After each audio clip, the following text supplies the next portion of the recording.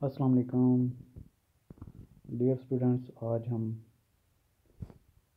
Senior auditor के जो past paper के रेलिवेंट पास्ट रिपीटेड क्वेश्चन पढ़ रहे थे, उसका पार्ट थ्री हम स्टार्ट करने लगे हैं। ये अकाउंटिंग और ऑडिटिंग का 2003 का पेपर है और क्वेश्चन नंबर वन से स्टार्ट करते हैं। Acid test ratio is calculated as under quick liquid assets divided current liabilities option C है इसका। और ये फार्मूला हम दो तीन दफ़ा पहले भी पढ़ चुके हैं। करंट एसेट्स वाला होता है और करंट लाइबिलिटीज होती है। ये करंट रेशो होती है। करंट एसेट्स में से इन्वेंट्री माइनस कर दें तो आपके आपके पास लिक्विड एसेट बच जाते हैं। तो ये acid test ratio liquid liquid ratio एक ही बात है। नंबर टू में कहता है deferred cost is deferred cost आपकी वो है जो आपने एडवांस में पे की हुई है तो वो आपका वर्कशीट इज़ बैलेंस शीट है फंड फ्लो स्टेटमेंट है combination of profit loss and ठीक जो आपके पास ट्रायल बैलेंस बनता है, वही आपकी वर्कशीट होती है और उसी में से आप सारे फिगर्स लेते हैं जो trading and profit and loss account में डालते हैं और बैलेंस शीट में। लिहाजा वर्कशीट जो होती है, वो आपकी, वो दोनों का कम्बिनेशन है option C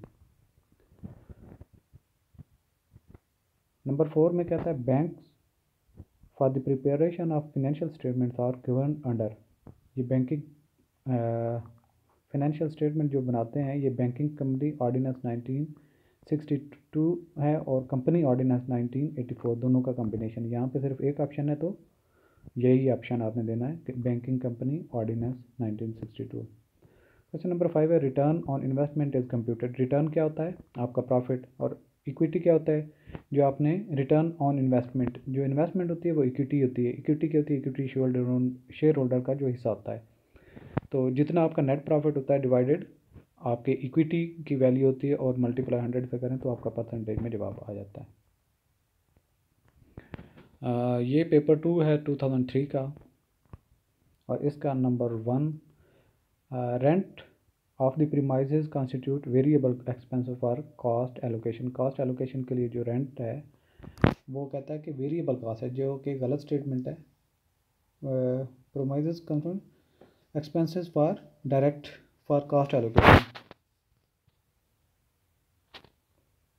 rent of the premises constitute variable expenses for cost allocation यहाँ पे एक बात है, अगर सिंपली रेंट हो प्रीमाइजेज का तो वो तो है आपका फ़िक्स कास्ट अगर ओवरऑल फ़िक्स रेंट है एक किसी भी एरिए का तो वो आपके लिए फ़िक्स कास्ट होती है, सिर्फ़ रेंट अगर आप उसको एलोकेट करते हैं फर्दर डिपार्टमेंट टू डिपार्टमेंट जितना वो यूज़ करते हैं तो फिर वो बन जाएगा वेरिएबल कास्ट लेकिन यहाँ पे जो है ये इसने कहा है कि premises rent of premises constitute variable expense for the cost allocation नहीं, ये गलत स्टेटमेंट है और इसने जो ट्रू लिखा है गलत है। ये जो फिक्स कास्ट ही काउंट होगी। रेंट जो है फिक्स कास्ट में आता है।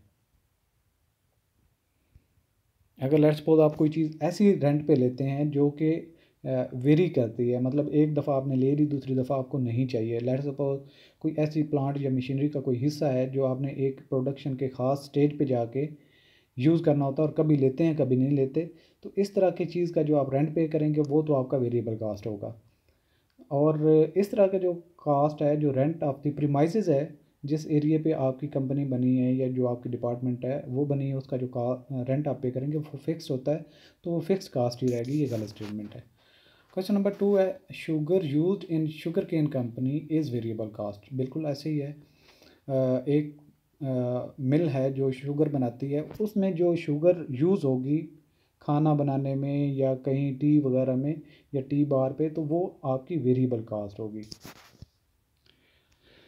नंबर थ्री में कहता है an auditor is liable under the following circumstances fraud perpetual perpetuated in highly sophisticated circumstances यानी कि अगर ऑडिटर भी उस पार्ट का हिस्सा हो जाता है जो बड़े एक प्लान तरीके से आ, किया हो फ्रॉड वगैरह तो वो अगर उसको नहीं डिटेक्ट करता नहीं पकड़ता और तो फिर वो इसमें क्रिमिनल लाइबल होता है अपनी नेग्लिजेंस की वजह से।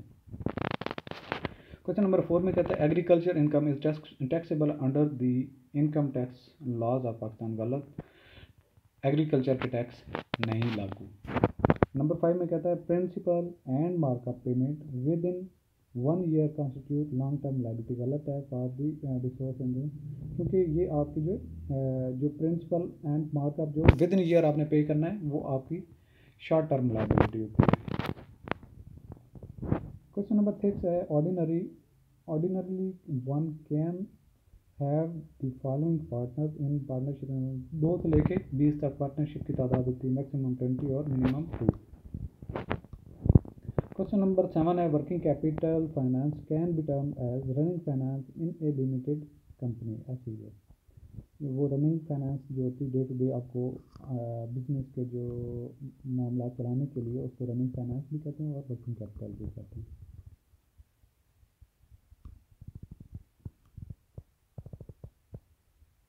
इसका फार्मूला था current asset minus current liability question number eight है income from capital gains arising out of trading on stock on stock string in Pakistan is taxable base बिल्कुल ऐसे ही है। स्टॉक पे जो है आपको वो जो प्रॉफिट होता है वो टैक्सेबल है। यानी कि शेयर कंपनी के आप खरीदते हैं और उनको बेचते हैं। उस पर आपको अगर कुछ गेन होता है तो वो कैपिटल गेन में आएगा और उस पर आपको टैक्स देनी पड़ेगी। Conversion cost is calculated as जैसे पहले भी हम ज़िक्र कर चुके हैं। लेबर प्लस ओवरहेड जो होता है कन्वर्जन कॉस्ट होता है मटेरियल प्लस लेबर जो होता है, ये प्राइम कॉस्ट होती है।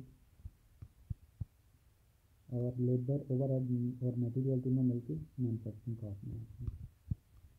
क्वेश्चन टेन है current ratio can be calculated as under current asset over current liability common formula accounting and auditing का पेपर 2004 का पढ़ते हैं। क्वेश्चन नंबर वन है the need for keeping a record of income and expenditure is clear and systematic manner have given rise to the subject of book keeping ठीक है the need the need for keeping record of income and expenditure is clear is a clear and systematic manner has given rise to the bookkeeping accounting cycle manufacturing बिल्कुल book keeping जो है इसी में ही आप record करते हैं entries को income में या आपका। एक्सपेंडिचर और इसको बुक कीपिंग कहते हैं। नंबर टू में कहता है if proper books of accounts are not kept in business the amount of profit can be certain can not be certain easily certain तो can not be certain number three में कहता है the stage on the which transaction are recorded chronologically in the books of accounts is called as recording. और ये accounting की definition है, ये आपको याद होनी चाहिए। रिकॉर्ड सबसे पहले हम करते हैं, उसके बाद क्लासीफाई करते हैं, उसके बाद हम जब इनकम स्टेटमेंट वगैरह बना रहे होते हैं तो उसको हम समराइज़ करना कहते हैं। तो सबसे पहली स्टेज जो होती है क्रोनोलॉजिकल जो जो इवेंट्स बिज़नेस में हो रहे होते हैं, हम डे टू डे उनको रिकॉर्ड कर रहे होते हैं, लिख रहे होते हैं, उनको क्या कहते हैं रिकॉर्डिंग क्वेश्चन बहुत इंपॉर्टेंट है, ये उसको ऊपर वाली डेफिनेशन को आपने याद रखना है। नंबर फोर है book keeping is mainly concern with book keeping किसके साथ अटैच है? Recording of financial data related to the business transaction बिल्कुल ऐसे ही है। जो फिनेंशियल डाटा होता है और बिज़नेस के रेलिवेंट होता है, उसको हम बुक कीपिंग और कहते हैं। क्वेश्चन नंबर फाइव है the term expenses and expenditure are same in nature बिल्कुल ऐसे ही है। एक ही इनकी नोयत होती है।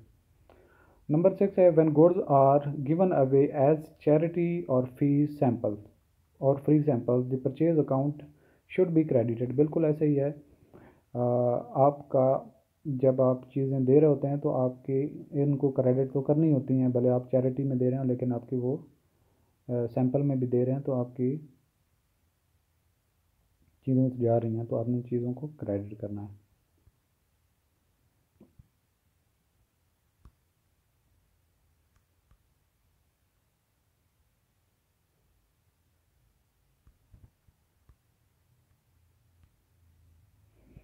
क्वेश्चन नंबर सेवन है the sale of business asset on credit is recorded as in general journal जो क्रेडिट पे सेल करेंगे आप, उसको जनरल जर्नल में रिकॉर्ड करेंगे। Discount account is a nominal account nominal account वो होता है जो वक्ती तौर पर हम बनाते हैं, बाद में ख़त्म हो जाते हैं। यानी कि वो आपके बैलेंस शीट में शो नहीं होते। इसके अलावा क्वेश्चन नंबर नाइन पे पहुँच चुके हम। Payment side of the cash book is under cost by rupees two hundred यानी कि जो पेमेंट साइड है वो अंडर कास्ट हुई है टू हंड्रेड पे। When over draft as per bank statement is the starting point when the bank statement when over draft as per bank statement is the starting point rupees तो उसमें आपने क्या करना है? उसको बैलेंस करने के लिए रुपीज़ टू हंड्रेड को ऐड करेंगे। क्वेश्चन नंबर टेन है all the direct expenses are charge to trading account बिल्कुल ऐसे ही है। इनडायरेक्ट एक्सपेंसेस हम प्रॉफिट एंड लॉस में लेके जाते हैं। और डायरेक्ट एक्सपेंसेस जैसे वेजेस होती हैं, या परचेजेस होती हैं तो उनको हम क्या करते हैं? डायरेक्ट जो एक्सपेंसेस आप करते हैं, वो ट्रेडिंग कॉस्ट में ट्रेडिंग अकाउंट में आप अप्लाई कर देते हैं और उसमें से ग्रास प्रॉफिट को ब्रॉड करते हैं। क्वेश्चन नंबर इलेवन है दो liabilities which arise only on the happening of some event are called बिल्कुल ऐसी किसी इवेंट के साथ जो अटैच होती है, उनको हम कंटीजेंट लाइबिलिटी कहते हैं। लेट सपोज़ आप एक किसी कंपनी के साथ, किसी फर्म के साथ एग्री करते हैं कि अगर फ़र्स्ट ईयर इस साल में हमारी, हम ये केस जीत गया तो आपको इसमें इतना जो हमारी लाइबिलिटी वो पे कर देंगे, या इतना कम जो अभी ड्यूज़ हैं वो पे कर देंगे, या फ़लाँ इवेंट होगा तो हम ये काम कर देंगे। तो जो कंडीशनल हो जाता है उसको हम उस लाइबिलिटी को जब वो कंडीशन फुलफ़िल होती है तो वो लाइबिलिटी राइज हो जाती है और इस तरह की लाइबिलिटी को कॉन्टीजेंट लाइबिलिटी कहते हैं जो किसी इवेंट के साथ मशरूत होती है। Marshalling the balance sheet means the ordering of its assets and liabilities बिल्कुल ऐसे ही है और ये बहुत इंपॉर्टेंट एम सी क्यू है, बहुत दफ़ा आता है। Marshalling of balance sheet means the ordering of its assets and liabilities यानी कि जो आपकी एसेट साइड है, आपने लॉन्ग टर्म एसेट लिखने हैं, फिर current non long short term assets हैं, फिर करंट एसेट्स हैं। तो उसकी जो क्लासिफिकेशन है सेम इस तरीके से जो लाइबिलिटीज़ की भी क्लासिफिकेशन होती हैं तो उनको मार्शलिंग कहते हैं marshalling of balance sheet thirteen है commission received in advance to be considered as unearned income है। तो आपने कमीशन तो ले लिया, लेकिन आप उसके अभी तक कमाई नहीं है, उसको रिकॉर्ड जब कर लेते हैं तो अनअर्न इनकम में वो आएगा। क्वेश्चन नंबर फोर्टीन है the provision for discount on creditors is often not provided in keeping with the principle of conservative conservatism तो जो provision for discount on creditors है क्रेडिटर्स कौन होते हैं? जिनको आपने पैसे पे करने होते हैं।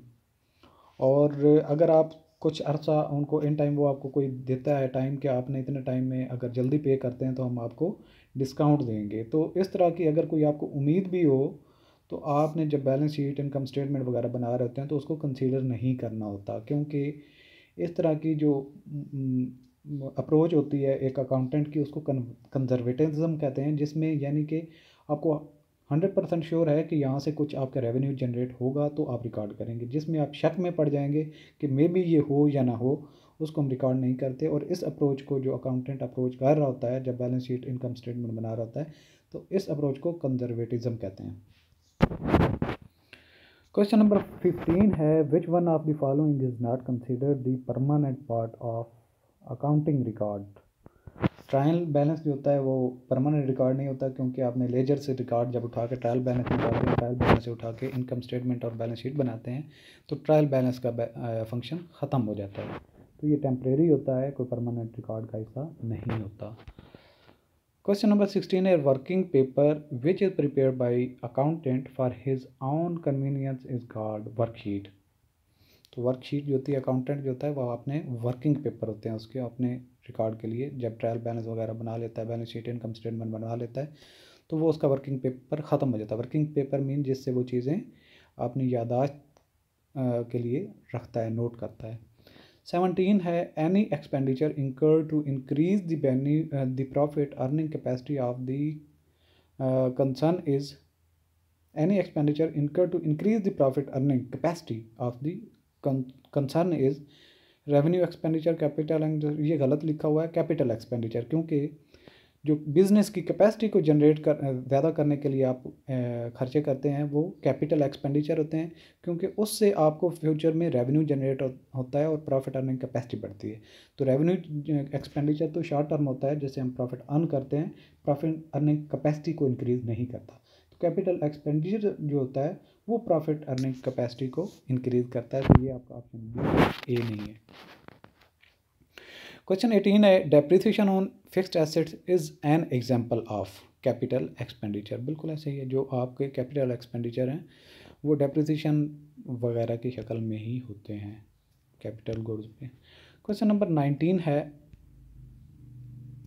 जी the capital receipts are shown in the balance sheet on the liability side the capital receipts are shown in the balance sheet on the liability side कि आपने कोई अगर कैपिटल गुड्स वगैरह ख़रीदी हुई हैं और जिनकी आपने पेमेंट्स अभी करनी है तो वो आपकी जो, चूँकि आपने अगर पेमेंट नहीं की तो वो आपकी लाइबिलिटी थी तो इसलिए आप उनको लाइबिलिटी साइड पे शो करेंगे।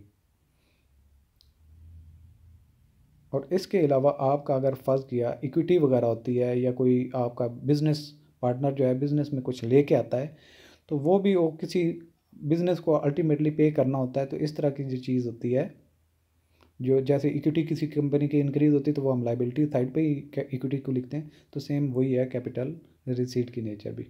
क्वेश्चन ट्वेंटी है errors due to wrong allocation as expenditure between capital and revenue is recorded as error of principle क्योंकि प्रिंसिपली आपने एक रेवेन्यू एक्सपेंडिचर होता है, एक कैपिटल होता है। कैपिटल वाले को रेवेन्यू में लिख दें या रेवेन्यू वाले को कैपिटल में लिख दें तो ये आपकी प्रिंसिपल की एरर होगी। यानी कि जो उसूल है रिकॉर्ड करने का, उसमें आपने गलती की है। आज का लेसन यहाँ पे ख़त्म करते हैं। तो इन मिलते हैं वेरी सुन तब तक के लिए अल्लाह हाफिज़।